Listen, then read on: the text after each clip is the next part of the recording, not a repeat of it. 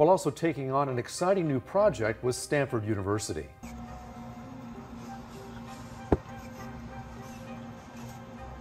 properly functional and intelligent robots made by students. We are not kidding because some student researchers from Google DeepMind and Stanford University have built something amazing. It is called Mobile Aloha. From cooking a delicious three-course meal to cleaning dishes and giving high fives, this robot showcases extreme precision and dexterity that is actually way more accurate than what people have assumed.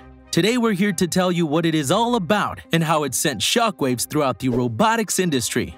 But before we begin, please make sure to like, comment, and subscribe to our channel as we strive to bring the latest and greatest from the world of AI. With that said, let's get straight to business.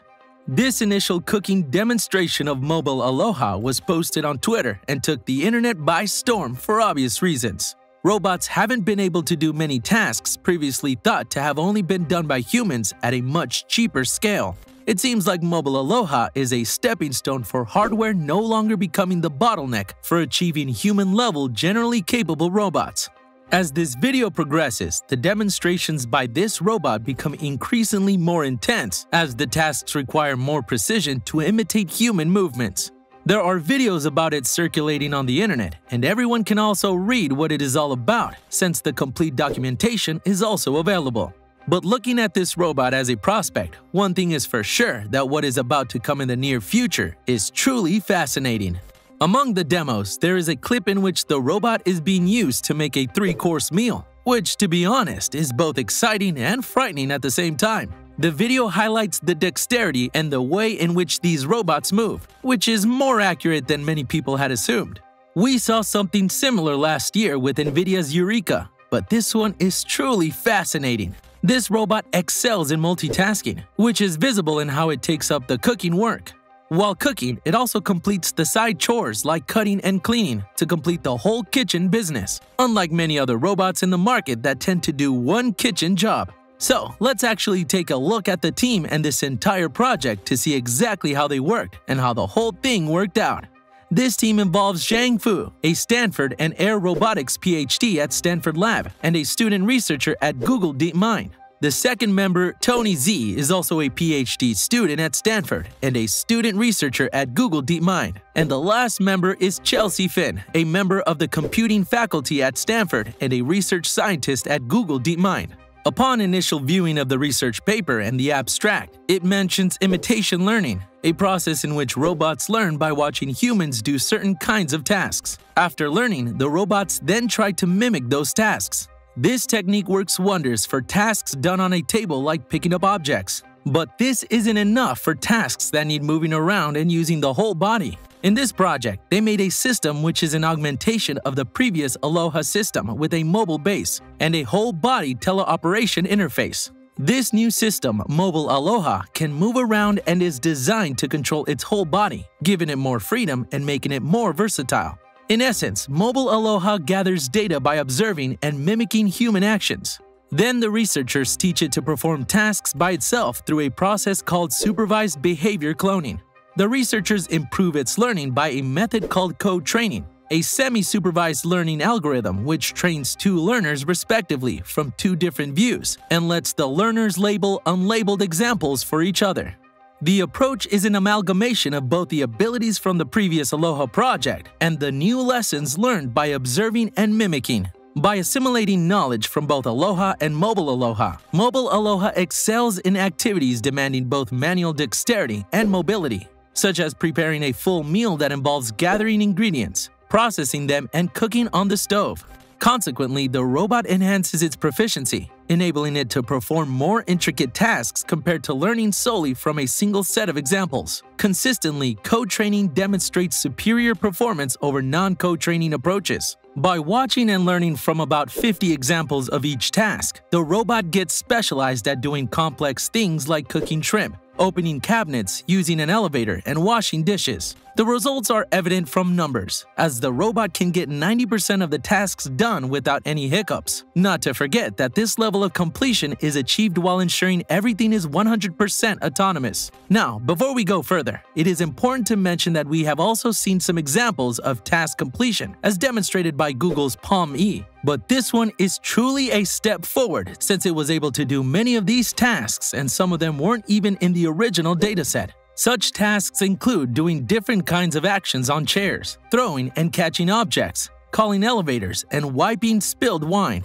This robot can move super fast and handle heavy things like pots. Not only that, users can control its arms and the base it moves on at the same time. And what's crazy about this is that it is self-powered, so it has its own battery and computer. For the moving part, they chose a mobile base called Tracer, which is used in warehouses. It's fast, can carry heavy loads, and can move over small obstacles and slopes. It's also cheaper than similar products. The design of this robot makes people feel that they can control it by being connected to it. Users can direct the movement of this robot from point A to point B just by making it follow and using its arms. Now, let's talk about the teleoperation mode. Teleoperation, also known as remote operation, just refers to the operation of a system or a machine from a distance. It's mostly commonly associated with robotics and mobile robots, but it can be applied to a wide range of systems. Teleoperation also has further two categories, i.e. VR teleoperation and standard teleoperation. The primary distinction between VR teleoperation and standard teleoperation lies in the operator's interface and perception of the remote environment. In standard teleoperation, traditional interfaces such as monitors, joysticks, and haptic feedback gloves are employed, providing a 2D or limited 3D view through cameras. Operators rely on visual and haptic cues effective for tasks with good visual perception but limited situational awareness. On the other hand, VR teleoperation utilizes virtual reality headsets to immerse the operator in a 360-degree view of the remote environment, enhancing spatial awareness and task execution. The Mobile Aloha robot embodies adaptability, operating in both standard and VR teleoperation modes. In standard mode, Mobile Aloha can be controlled remotely using a joystick and monitor setup, suitable for surveillance and inspection. In VR mode, Mobile Aloha with a connected VR headset offers telepresence for tasks like bomb disposal or search and rescue, providing improved situational awareness and intuitive control in complex environments. We must also consider the autonomous nature of this product. If scaled correctly, it could find applications in various domains. The continuous evolution of these robots is evident, with ongoing development leading to increased efficiency. As researchers and students delve into the industry, we can anticipate more discoveries that will contribute to faster and more advanced robots. Despite the current bottlenecks, the robot proves impressive, especially in completing tasks with precision.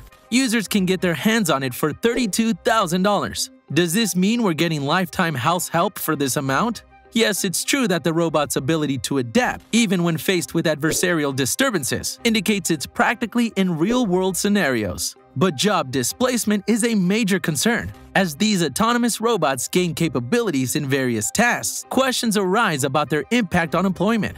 The whole package has a weight of 75 kilograms with a payload capacity of 5 kilograms per arm. It boasts a battery life of up to 2 hours, providing efficient and sustained operation. In terms of dimensions, the device measures 1.2 meters in length, 0.8 meters in width, and 1.5 meters in height, making it a compact and versatile tool for various applications. Lastly, the Mobile Aloha project is a completely open source initiative, enhancing both its development trajectory and real world impact. In terms of development, the decision to open source both hardware and software components invites contributions from a global community of experts and enthusiasts. This inclusivity accelerates progress by enabling swift bug fixes, code improvements, and the introduction of new features, ultimately expanding the robot's capabilities. Not only that, the accessibility and transparency inherent in open source result in reduced development costs, making the project more sustainable and accessible to smaller research groups or individual developers.